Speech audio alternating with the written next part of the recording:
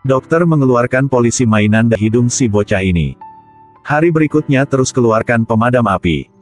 Hari terus, bocah ini terus ke rumah sakit. Kali ini, ada mobil pemadaman api. Dokter House memang terkejut. Bocah ini kenapa begitu keras kepala? Kenapa terus masukkan mainan ke hidung? Apalagi hanya sebelah lubang hidung saja. House melihat mainan di depan. Polisi, pemadam api, mobil pemadaman api. Tiba-tiba, dokter memahami suatu. Dia mengambil mesin hisap magnetik. Setelah memeriksa, lalu dia mengarahkan mesin ini kepada hidung bocah. Ternyata, seekor kucing dikeluarkan. Karena menyelamatkan kucing ini, bocah ini sudah masukkan polisi, pemadam kebakaran dan mobil pemadam kebakaran. House memang terkejut. Bocah ini memang pintar. Harus mengasuhnya dengan baik. Bocah ini bisa menjadi jenius masa depan. Tapi wanita ini memang lebih aneh. Bagian di bawah dia berdarah. Haus USG perutnya. Kata dokter keguguran. Wanita ini memang terkejut. Sejak waktu dia bercerai. Dia masih lajang selama dua tahun ini.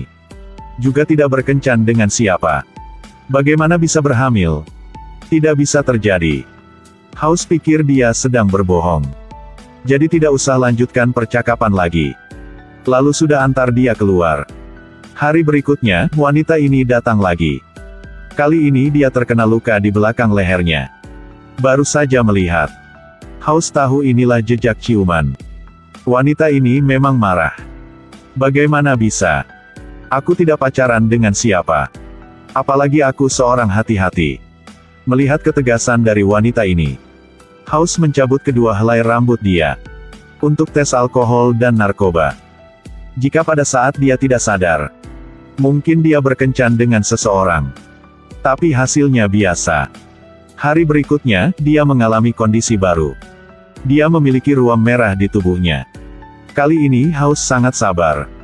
Dia meneliti sepanjang hari. Akhirnya dia berkesimpulan. Itu bukan ruam. Itulah jejak dari gesekan di karpet. Kali ini wanita memang tidak bisa bertahan lagi. Aku sudah banyak kali berkata kepadamu. Aku lajang, lajang. Tidak mungkin wanita ini berkarakter yang beda. Haus bertanya biasa dia tidur nyenyak tidak. Dia jawab bahwa dia tidur sangat nyenyak sampai pagi. Hanya pada pagi, saat dia bangun dia agak lelah. Kamu mau curhat tidak? Tidak, suami aku tinggal di lantai bawah. Dia sering menelpon aku untuk kembali dengan dia.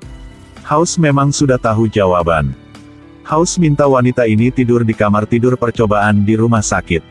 Hasilnya memang seperti Haus menebak. Gelombang otaknya pada jam 2.45 menit tiba-tiba bersemangat. Hal ini membukti bahwa wanita ini sudah bangun dalam tiduran dia. Itulah tidur sambil berjalan. Aduh jadi sudah begitu lama. Jika wanita ini tidur sambil berjalan dia akan mencari mantan suami dia. Jadi suami dia sering menelpon untuk kembali. Benar saat mabuk akan katakan kata dari lubuk hati.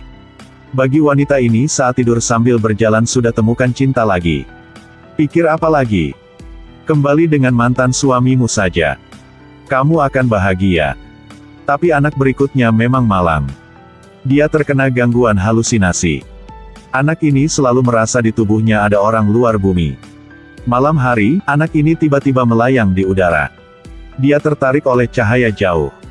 Lalu melayang ke jendela. Ternyata inilah halusinasi anak laki-laki karena kejang. Anak ini sejak kecil sudah percaya bahwa di tubuhnya ada orang luar bumi. Apalagi orang ini sudah pasang chip di lehernya. Orang tua anak ini pikir mungkin anak bermasalah. Dokter juga merasa aneh. Melihat semua orang tidak percaya dia. Suatu malam hari, anak ini melakukan hal yang sangat gila. Dia sudah memotong lehernya dengan pisau. Mau ambil chip itu. Untuk membukti bahwa dia tidak berbohong. Untungnya dokter temukan dia. Dengan cepat merawat lukanya. Tapi hal yang mengherankan dokter. Itulah luka anak ini. Ada suatu seperti chip. Memang aneh loh. Apakah kata anak ini benar? Pagi hari berikutnya, House keluarkan chip itu. Benda ini tidak ada di dunia ini. Para asisten juga bingung. Ternyata ini hanya kata canda dari House. Itulah paku bedah. Riwayat penyakit anak ini sudah diketahui. Empat tahun lalu, anak ini pernah patah tangan. Pada saat itu, sudah ada paku. Mungkin dalam proses penyelesaian sudah tersisa. Lalu melalui pembuluh darah dari lengan yang mengalir ke leher. Mereka pikir jika keluarkan paku ini, anak ini akan membaik. Tapi tidak. Anak ini masih terkena gangguan ilusi. House memutuskan untuk cek jantung anak ini. Untuk mengamati lebih jelas. House berganti fungsi mengawasi denyut jantung. Benar, setelah dibesarkan. House melihat beberapa sel-sel jantung tidak sinkron. Hasil memeriksa memang membuat semua orang terkejut. DNA dari sel ini tidak sinkron dengan bagian lain. Dengan kata lain, di tubuh anak ini ada orang lain. Memang aneh.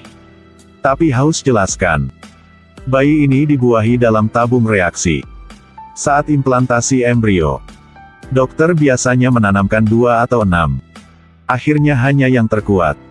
Saat itu, dua embrio saling berpelukan membentuk ovum yang melebur menjadi satu. Jadi chimera. Yang satu menjadi orang. Itulah anak ini. Yang lainnya tetap dalam tubuh anak ini. Jadi anak ini merasa ada orang di luar bumi di badan dia. Jika mau menyelesaikan masalah ini, harus memotong sel-sel ini. Terus House akan lakukan operasi untuk anak. House menyentuh saraf otak. Yang pertama saraf kerja. Terus saraf emosi. Mencoba sampai kali ke. Akhirnya House sudah temukan sel itu. Baru saja sentuhnya, anak ini melihat orang itu. Gelombang otak juga muncul ilusi. Ya ini benar. House mengambil sempat ini. Sudah memotong sel yang aneh. Anak ini segera kembali ke kondisi biasa. Bapak sudah mengusir orang di luar bumi kan? Iya benar. Orang itu sudah diusir. Terus rumah sakit ini terjadi yang aneh lagi. Dokter ini membawa ekor babi ke ruang operasi. Dia mau ngapain? Untuk menyelamatkan orang. Metode pengobatan yang aneh ini. Hanya Haus yang tahu. 30 menit lalu. Polisi membawa pasien yang khusus ke rumah sakit. Inilah bos gangster. Dalam perjalanan ke pengadilan tiba-tiba muntah. Lalu pingsan. House menebak inilah karena terkena racun. Apalagi racun ini sangat kuat. Hati sudah tidak berfungsi lagi. Yang paling lama hanya bisa hidup dua jam lagi. Waktunya gak cukup jadi tidak bisa lakukan operasi. Jadi House punya ide. Dia suruh rekannya membawa seekor babi ke sini. Letakkan babi dan si bos ini di ruang operasi. Lalu keluarkan semua darah dalam si bos ini. Lalu transfusi darah itu ke ekor babi. Jadi hati ekor babi. Dapat diganti hati si bos. Memurnikan darah yang diracun. Lalu transfusi darah itu ke badan si bos.